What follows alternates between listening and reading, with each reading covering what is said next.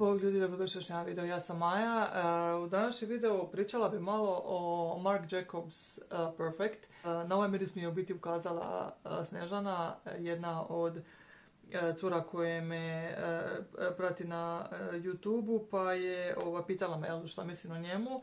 Onda sam ga probala i onda mi se svidio i onda sam se mislila da ga naručim i tamo sam bila pred naručbu i onda sam našla ga poprilično povoljno na krpicama i onda sam odlučila ajde ok, ovih 20 ml će mi biti valjda dovoljno.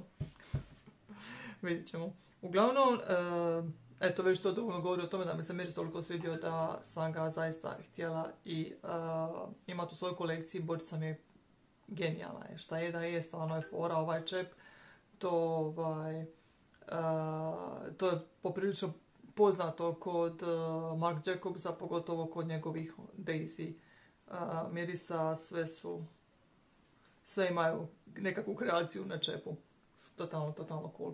Uglavnom, moram priznati da ovaj miris je ono, trebate ga definitivno isprobati nekoliko puta. Mislim, ok, trebali bi, trebalo bi eventualno svaki miris kad se kupuje isprobati nekoliko puta, ali primijetila sam za njega da je baš ono, nije, nije mi uvijek isti, ne doživljava ga uvijek jednako i uh, jako, jako interesantan. I uh, inače, ja s bademom, inače bademovo mlijeko se nalazi u njemu, ali ja zaista sa bademom i raznim vrstama varijacijama, varijacijama badema, bademovo mliko, badem, nije bitno bademov cvijet, e, čak i marcipan, znači sve mi to nekako ono, ovisi u biti valjda kako će, kolika je koncentracija toga u mirisima, tako naravno jeli, ovisi hoće li mi se miris svidjeti, jer mi ako ga ima previše, on meni zna povući na ono, kako kažu, na plastičnu lutku, play dough i slične te onako plastično umjetne ovaj, e,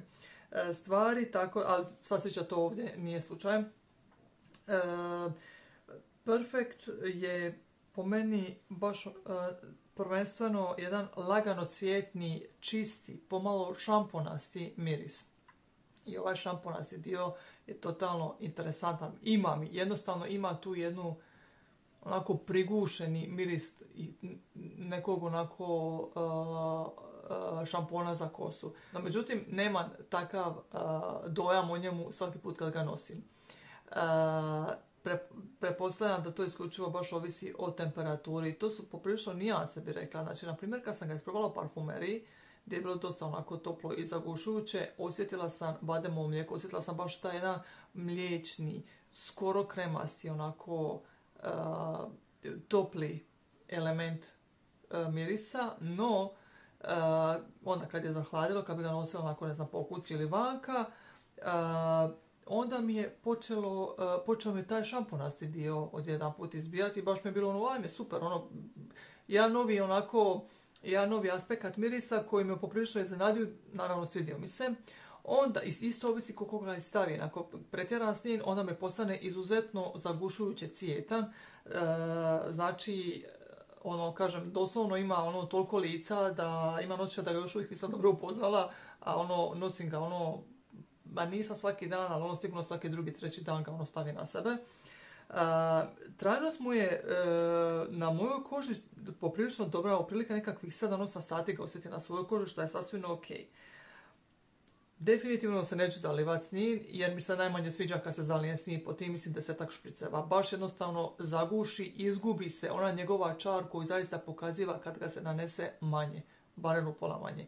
Znači, kad je toplije, više primijetim te, kažem, kremaste, mliječne elemente, to bademo mlijeko, baš se osjeti ta jedna onako, to je nešto kremasto u njemu. No, ako pretjeran, izuzetno je cvjetan i ono, onda se, kao da se zasladi još više i onda pomalo me postane mučan, ali opet nije, opet, ima i gorih mirisa na tu temu, tako da on opet nije takav. A onda, kažem, opet ti, kad je hladnije, ti nekako šamponasti elementi proviruju, taj jedna, onako, jedan oblik čistoće, onako, ali ne čistoće u smislu da je onako prozračan, jer nije prozračan, ima tu jednu onako, kao tu jednu prigušenost prigušenost tog e, šampon mirisa i isključivo biti kad, u, kad za njega kažem koliko je da podsjeća na miris čistoće, podsjeća isključivo na miris čistoće u smislu tog šampona, tih prigušenih nota šampona, ajme, valjda me kužite šta vam hoću reći. Uglavnom, na primjer i Moonlight in Heaven, zaista od Kilijana, on također ima taj jedan onako šamponasti vibe, no međutim on je prozračniji. On nema tu jednu prigušenost, on je više onako prozračniji i lepršaviji, dok kažem ova ima tu taj prigušene elemente šampona. I koliko puta sam rekla šampona u ovom videu, nećemo brati. ovaj, ali kažem, jako, jako je dobar, jako mi se sviđa. I, um, Intense verzija uh, ovog mirisa mi je poprilično intenzivna. Jako je dobar, ali mi je nekako više za baš hladnije, hladnije dane. Uh, a tila sam nekako nekakav miris da mi je više onako za dnevne varijante, opet da mi je drugačiji od ne znam, tipičnih cvjetnih, prozračnih mirisa koje imam u svojoj kolekciji, tako da mi je ovaj baš nekako najbolje sjeo. Uh, na lito mislim da ga neću nositi zato što malo se bojim jer mislim da bi mogao biti previše zagušujuć, a ne bi tila da, da mi se ne svidi više, jel tila bi ga nositi, jer kažem imam baš i, i te mliječne aspekte kad se pojave jako je ugodan, baš ima, ono, jako je ugodan, ali kažem opet i ti šamponasti elementi su mi ono bili toliko iznenađenje da, da mi su biti miris na posljedku svidio još više. Tako da kažem, ima svega. Maricu je slatkast, ima tu taj ono clean, čisti vibe, definitivno. Šamponast je i topao je. Nije onako niti, nije normalno, niti je, niti je previše gurmanski, niti je previše cvjetni, ništa od toga, nego jednostavno ima jako dobar balans svega, prepostavljam možda upravo zbog tog bademovog mlijeka, koji je onako baš uh, taman doziran koliko treba. On u top notama ima navodno rabarbaru. Ja to uopće e, ne osjetim i što je super. Mislim, ok mi je ta nota, ali nju nekako najviše povezima sa delinom i onda ono, ne bi htjela imati nikakve konotacije sa delinom.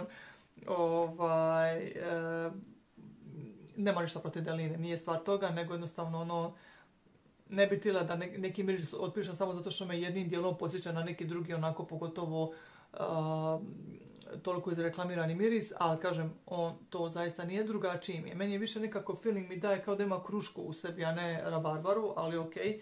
Uh, šta sam htjela reći? Uh, uglavnom, uh, ugodno iznenađenje. Ja ga, ne znam, ne mogu ga usporediti sa nekim drugim. Na tržištu imam i opet te nekakve, ovaj, opet razlike, opet je drugačiji, posebniji. Po tome što, pogotovo zato što se dosta onako mijenja sukladno jel, vremenskim prilikama. A, mislim, kaj manje više skoro svaki miris, ali ovaj mi nekako to, kažem, radi češće, što me onako poprilično iznenadilo.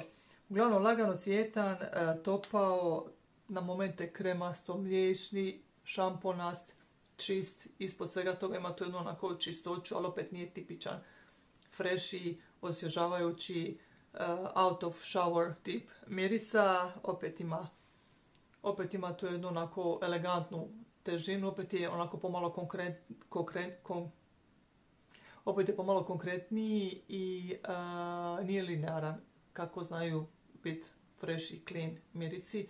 Oni su najčešće onako linearni, ovdje, se to, ovdje to zaista nije slučaj. I tako. I to je to za ovaj video. Hvala vam puno na gledanju i vidimo se u sljedećem videu. Ćao!